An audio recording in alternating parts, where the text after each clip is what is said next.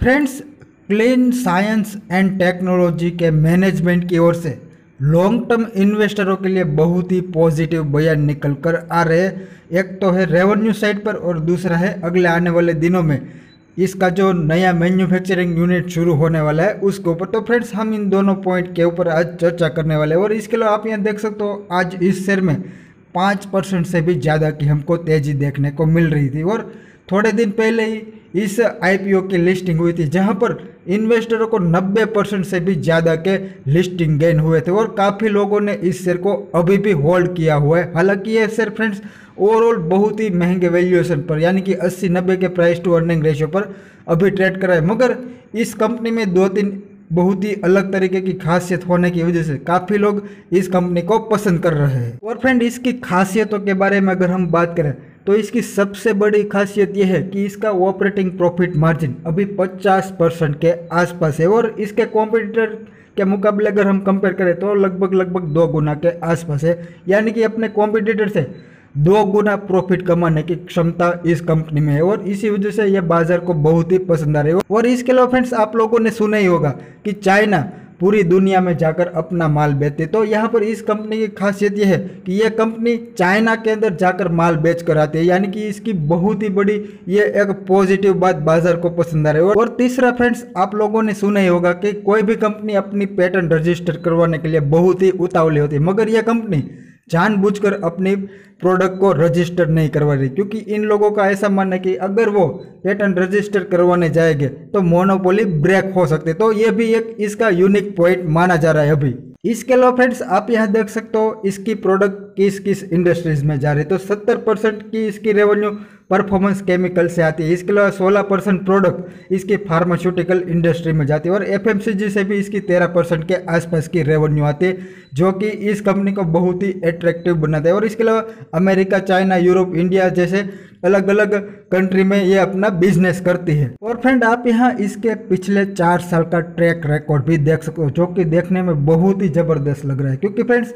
Stock market के अंदर 15-17 percent के CAGR से अगर कोई कंपनी ग्रोथ करती है तो उसको बहुत ही ज़बरदस्त माना जाता है। मगर यहाँ पर तो उससे भी कई बेहतर हमें ग्रोथ दिखाई दे रहा है। और आप ये देख सकते हो फ्रेंड्स 2018 में इसकी 242 करोड़ के आसपास की रेवेन्यू थी। वो 2021 में 512 करोड़ हो गई। और ये तीन चार साल को अगर हम कैलकुलेट करें तो 28 परसेंट के सी से इसकी रेवेन्यू बढ़ी और एबिटा मार्जिन फ्रेंड्स 2018 में 30 परसेंट के आसपास था। तो फ्रेंड्स अभी 30 परसेंट का एबिटा मार्जिन बहुत ही हाई माना जाता है। मगर आप देख सकते हो 2021 में इसका 30 परसेंट वाला इबिटा मार्जिन इक्यावन परसेंट के आसपास पहुँच गया। तो ये बहुत ही एक काबिल तारीफ़ बात है इस कंपनी के लिए। और प्रॉफिट आफ्टर टैक्स मार्जिन दो 2018 में 20 परसेंट के आसपास था वो 2021 में उनचालीस परसेंट के आसपास आ गया है। और फ्रेंड अभी हाल ही के लेटेस्ट क्वार्टर के रिज़ल्ट की बात करें तो आप यहाँ देख सकते हो पिछले साल जो 111 करोड़ के आसपास की रेवेन्यू थी, वो इस साल बढ़कर 144 करोड़ आई। तो यहाँ पर साल दर साल हमें 30 परसेंट के आसपास की और क्यू एन क्यू नौ परसेंट के आसपास की रेवेन्यू में जंप देखने को मिली। और पिछले साल जो प्रॉफिट बयालीस करोड़ के आसपास था, वो इस साल बढ़कर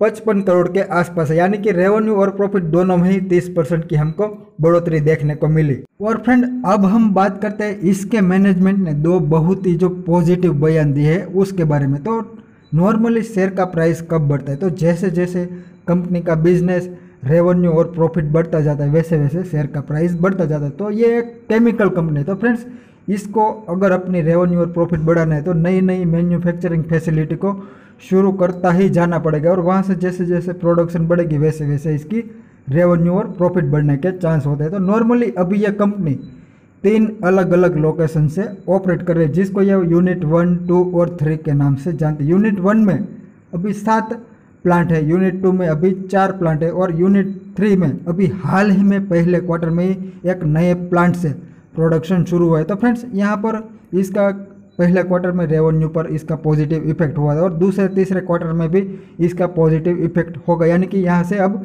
ग्रोथ आना स्टार्ट होगी। और यहाँ पर फ्रेंड्स खास बात यह है कि तीसरे क्वार्टर में इसकी एक और मैन्युफैक्चरिंग प्लांट शुरू होने वाले तो वहाँ से जब प्रोडक्शन बढ़ेगा तो इस कंपनी के रेवेन्यू में बहुत ही तेज हमको ग्रोथ देखने को मिलेगी। क्योंकि फ्रेंड्स अभी आप यहाँ देख सकते हो टोटल 12 प्लांट से ये प्रोडक्ट मैन्युफैक्चर कर रहे हैं। तो तेरहवीं जब ऑपरेट होगी तो स्वाभाविक है कि इसकी रेवेन्यू बढ़ेगी। इसके अलावा फ्रेंड्स कंपनी ने लॉन्ग टर्म में भी अपनी ग्रोथ बरकरार रहे। उसके लिए अभी से काम करना शुरू कर दिया और आप यहाँ सबसे निचली वाली लाइन में देख भी सकते हो। कंपनी ने क्लियरली यह बताया कि यूनिट फोर के लिए उसने ऑलरेडी लैंड को एक्वायर करके रखा है। और अब तक का यह सबसे बड़ा प्लॉट उसने एक्वायर किया, ऐसा भी कहा है। और वहाँ पर वो एफ़ आई तेईस, चौबीस में खर्च करने वाले तो जैसे जैसे फ्रेंड्स ये कंपनी खर्च करती जाएगी, वैसे वैसे इसकी मैन्युफैक्चरिंग फैसिलिटी बढ़ती जाएगी और वैसे वैसे इसका बिज़नेस बढ़ता जाएगा। तो ओवरऑल यहाँ पर लॉन्ग टर्म इन्वेस्टर को बहुत ही अच्छा बेनिफिट होने का चांस है। और फ्रेंड अब हम बात करते हैं मैनेजमेंट के दूसरे और बहुत ही पॉजिटिव बयान के ऊपर। तो नॉर्मली क्या होता है फ्रेंड्स जैसे जैसे कंपनी का बिज़नेस बढ़ता है, वैसे वैसे शेयर बढ़ता है और जिस गति से बिज़नेस बढ़ता है, उस गति से शेयर का प्राइस बढ़ता है। तो बड़े हो या छोटे इन्वेस्टर पूरे बाज़ार की नज़र इसी बात पर रहती है कि ये कंपनी कितनी तेज़ गति से ग्रो करेगी।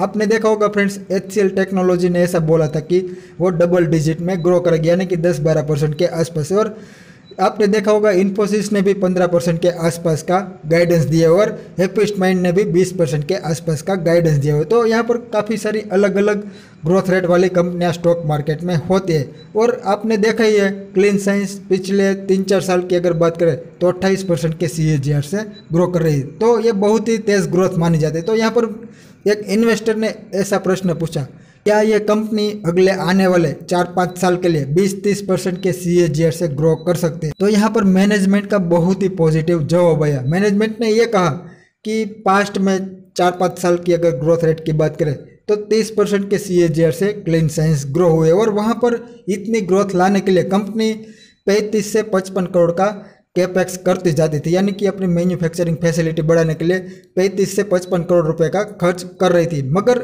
एफ़ वाई इक्कीस में इसने नब्बे करोड़ का खर्च किया, यानी कि पहले के मुकाबले काफ़ी ज़्यादा खर्च किया, अपनी कैपेसिटी बढ़ाने के लिए। और एफ़ वाई बाईस, यानी कि अभी जो साल शुरू हुआ है, वहाँ पर वो सौ करोड़ से भी ज़्यादा का खर्च करने का प्लानिंग कर रहे हैं। तो फ्रेंड्स इतनी तेज़ गति से पहले के मुकाबले अगर खर्च करेगी तो ग्रोथ आना तो स्वाभाविक है। और यहाँ पर इसी वजह से मैनेजमेंट ने यह कहा कि जो पास्ट में तीस परसेंट के आसपास से वो ग्रो कर रहे थे, वो ग्रोथ आगे भी बरकरार रहने की पूरी पूरी उम्मीद है, क्योंकि पहले के मुकाबले काफ़ी ज़्यादा वो खर्च कर रहे हैं। तो ओवरऑल फ्रेंड्स इतनी तेज़ गति से अगर ये कंपनी ग्रो करेगी तो डेफिनेटली लॉन्ग टर्म इन्वेस्टर को यहाँ पर बहुत ही बड़े प्रॉफिट होने के चांस है। और इसके अलावा फ्रेंड्स जिसको ये सर आईपीओ में नहीं मिला है और यहाँ पर फ्रेश बाइंग करना चाहते तो उसको क्या करना चाहिए? तो फ़िलहाल तो अभी ये सर 80 से 90 के प्राइस टू अर्निंग रेशियो पर ट्रेड कर रहे हैं। यानी कि इसको स्टॉक मार्केट के लिहाज से देखें तो महँगे वैल्यूएशन माना जाता है। मगर